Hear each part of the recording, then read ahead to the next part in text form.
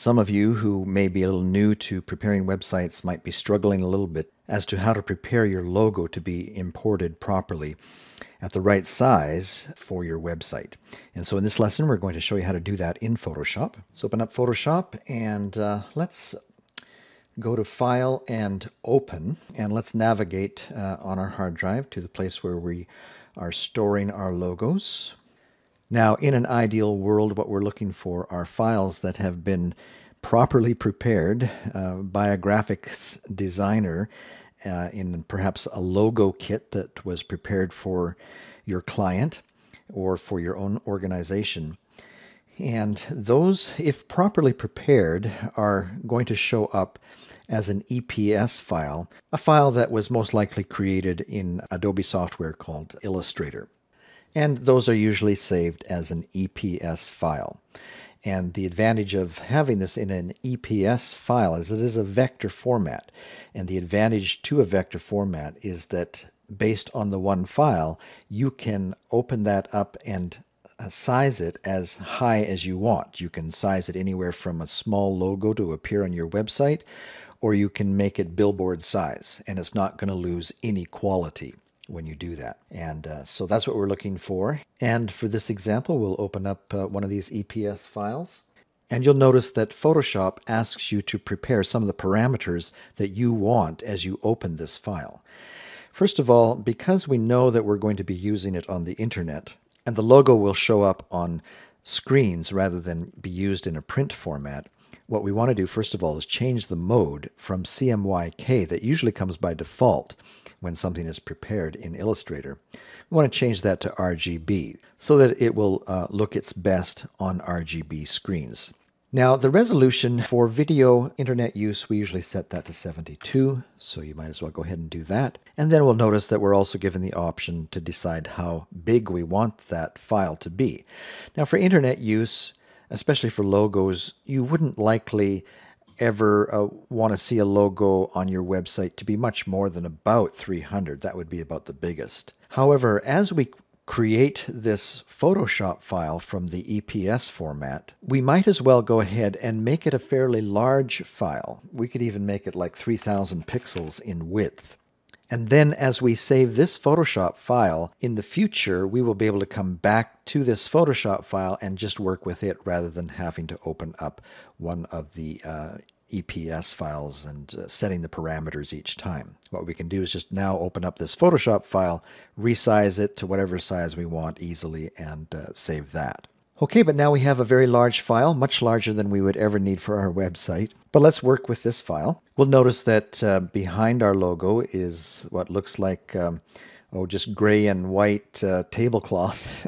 but really what this is showing to us in a Photoshop file is that uh, we're working with a transparent background. And this is usually the way we would want it to be as we try and import it into our website. We want to have that transparency so that any design or color that we may have up on our website will nicely show underneath our logo. If we filled this uh, background in with a particular color, that color may or may not work with our website. And so we want to leave it as neutral as possible, and leaving it transparent is usually the best method. Now, there'll be exceptions to that rule. There may be times when you want to add a background color in Photoshop before you import that into your website. Perhaps we'll show you how to do that before we're all done. But for now, let's uh, save this file, maybe five or six different ways so that we have these readily available to us whenever we need to import them to our website. First thing I might do is expand our uh, borders just a little bit. You'll notice that uh, the way the file comes in from Illustrator, the edges of the file are very extreme, right up to the very pixels of the logo itself. And you might want to give yourself a little breathing room there, depending on the design of your website. Sometimes it'll work better just to bring it in like this.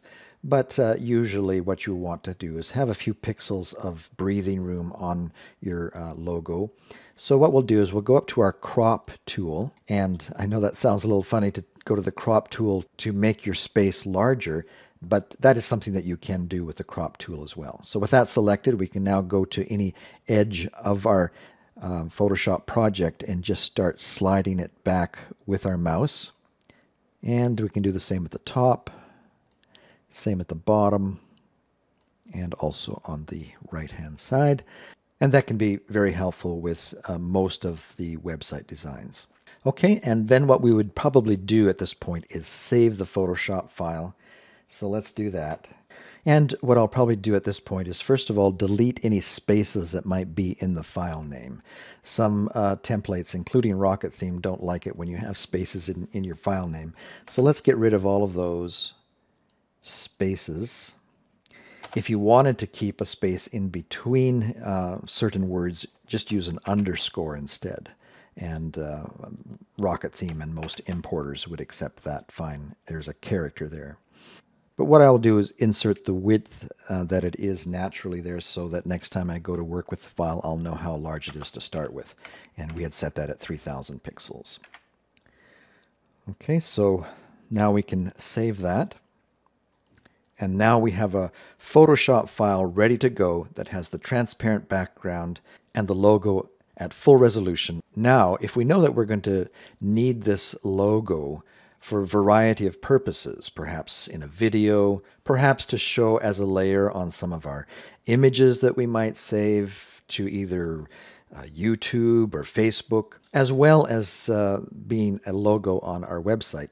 We might want to save this in a variety of, of different sizes so that we have them readily available and we don't have to go through the process of resizing our logo every time we need to do something with it. So what I would do at this point is uh, First of all, perhaps save one at this size because I know that if I use a, a, logo inside some of my After Effects templates, for example, many of the scenarios would require a very large uh, logo to start with, and it's so easy to resize once you're inside After Effects anyway. So I like to have one file that's saved at the 3000. What I'll do is hit the Control Shift S to save as, and then go down and in the save as type, I will go and choose the PNG file extension. And the reason why we like to save as a PNG is because this preserves the transparency, which is so important, so vital to uh, many of the uses of a logo. Okay, and what we might want to do is create a new folder here and say something like, uh, so we'll save that. PNG asks you to confirm the type of compression. The default one is fine. And then we'll quickly resize these. Maybe we'll grab one at uh, 2000. And uh, remember to change the save as type from the default Photoshop to the PNG file. And then just uh, change the uh, file name from 3000 to 2000. Hit save, hit OK and uh, just repeat that process for the various sizes that you want. I'll do one at 1000.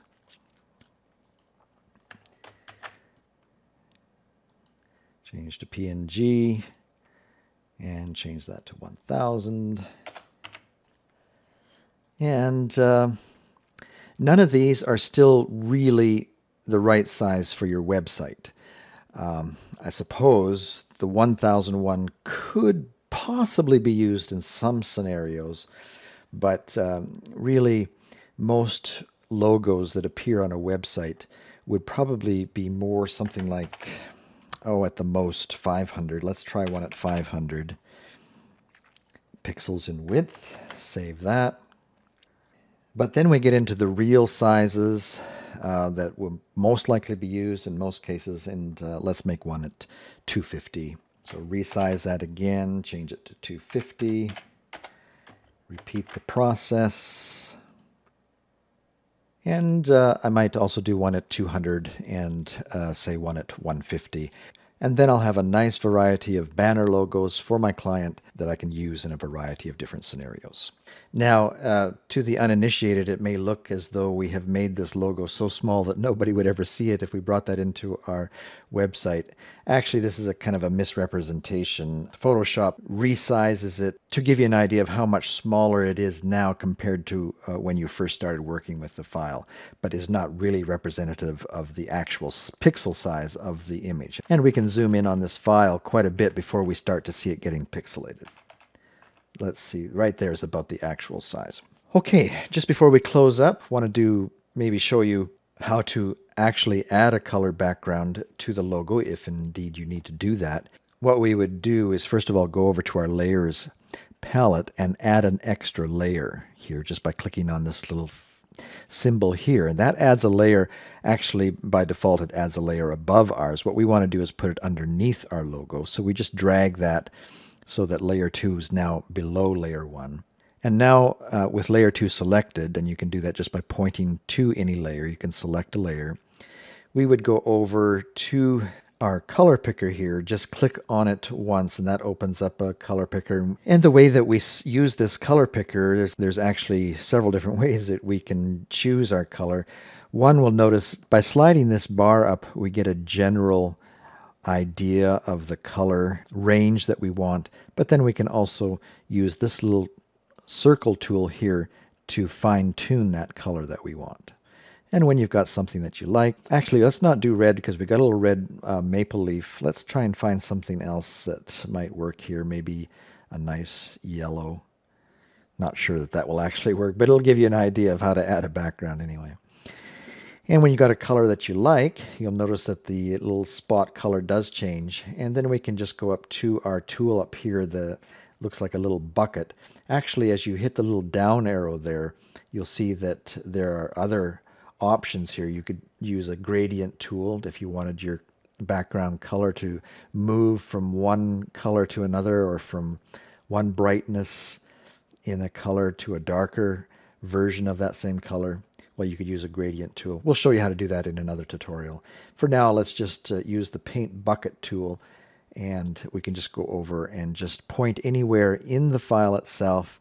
Click with your mouse once and that would fill up your file and then you could save that uh, as a separate file and uh, and have a logo ready to go with a preferred colored background.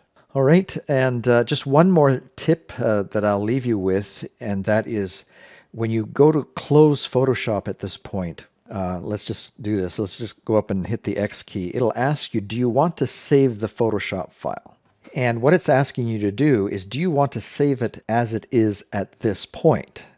Because you've made changes since the last time we saved it. You remember that we saved our Photoshop file uh, with a transparent background at a width of 3000 pixels and we wanted to kind of preserve that file so that we always had that to go back to rather than having to try and find or define the EPS file again. So if we were to hit yes at this point, what we would be doing is overwriting that nice large 3000 pixel size Photoshop file and instead be saving this as a very small logo with a colored background. And uh, so at this point, you would just hit no, you don't want to save it again and overwrite that file. And that way you'll preserve your original file.